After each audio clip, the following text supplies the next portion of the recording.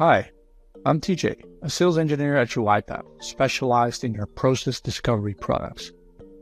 In this video, I'll explain how accounts payable teams struggling to keep up with all their supplier communication can use UiPath to both discover improvement opportunities and automate the work to reduce the email volume, improve processing time, and increase quality. A good accounts payable process assures that you can maintain a strong supplier relationship. Paying them on time and in the correct amount means that they will be eager to supply you for your next needs. Communication is critical in accounts payable. Suppliers will email invoice copies or ask for the payment status of an open invoice. But they may also escalate issues, including duplicate invoices or payments short of the invoiced amount. You first need to figure out what the email's intent is. Then ensure the relevant data, invoice numbers, PO numbers, amounts are present.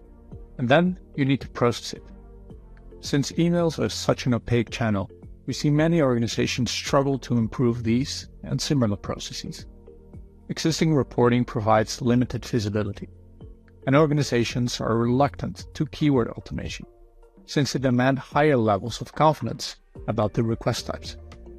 Commonly, we see the following three objectives for help desk.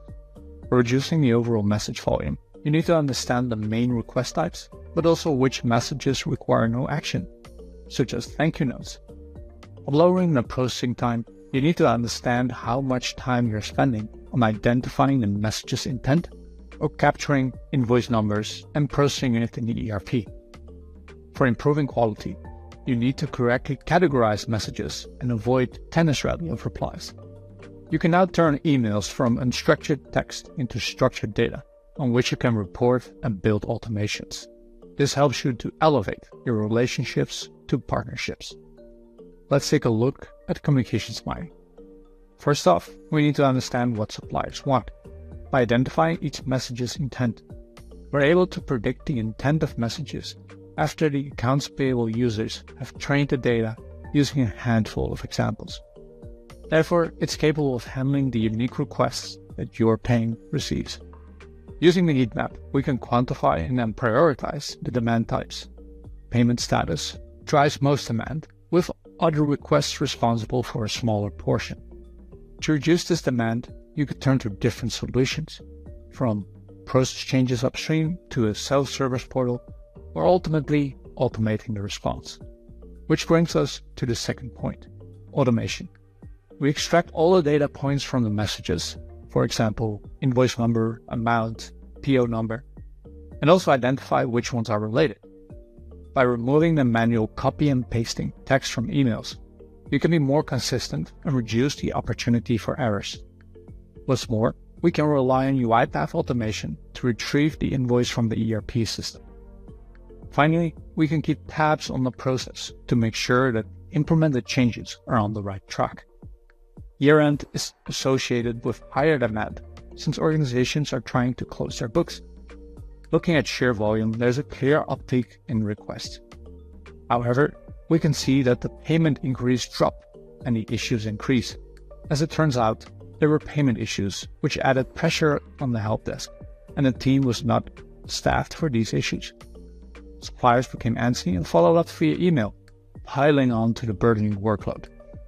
So, what is the low hanging fruit UiPath can solve for in your accounts payable process? A lot of volume requires no action. Think of out of office notifications or unsolicited services. You're likely currently already using inbox rules, and still, you're capturing only just a fraction of these messages. Even if a user spends half a minute on these emails, the totals add up quickly, but even worse, they add to the workforce fatigue. Properly detecting the email request can lower the volume of emails the help desk needs to manually process. If you can detect what the request is, you can check the invoice status. If the PO is marked as closed, the automation can immediately triage the request to the procurement team instead of the actual work of the AP team just to route it. Getting the request immediately to the right team reduces both the processing time and the response time. Suppliers may threaten with legal actions or stopping to provide their goods and services until the open invoices are paid.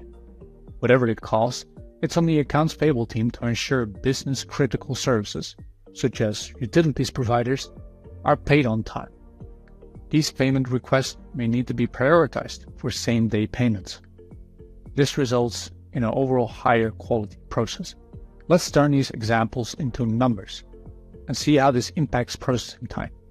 If we take a typical volume of 100,000 emails annually, are several FTE dedicated to suppliers.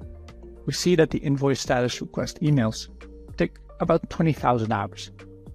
In the second scenario, we can already achieve a material impact by having communications mining to the majority of our triaging. There may still be exceptions, and a dispatcher can take care of those. With the UiPath platform, the possibilities are endless. You can check if all the invoices are included as attachments, cross check if the invoice exists in the system, confirm what the payment status is, and finally draft a response using a template or even generative AI. Depending on your preference and sensitivity, you may still have a human in the loop. Automate the repetitive transactional work and add the personal touch where it counts.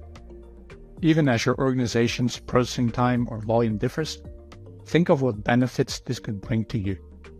This is in addition to the other benefits we highlighted, such as employee satisfaction, supplier satisfaction. A lot of work, but also a lot of opportunities arrive via email. Reach out to UiPath to streamline your process and find the best automation candidates to improve your business operations.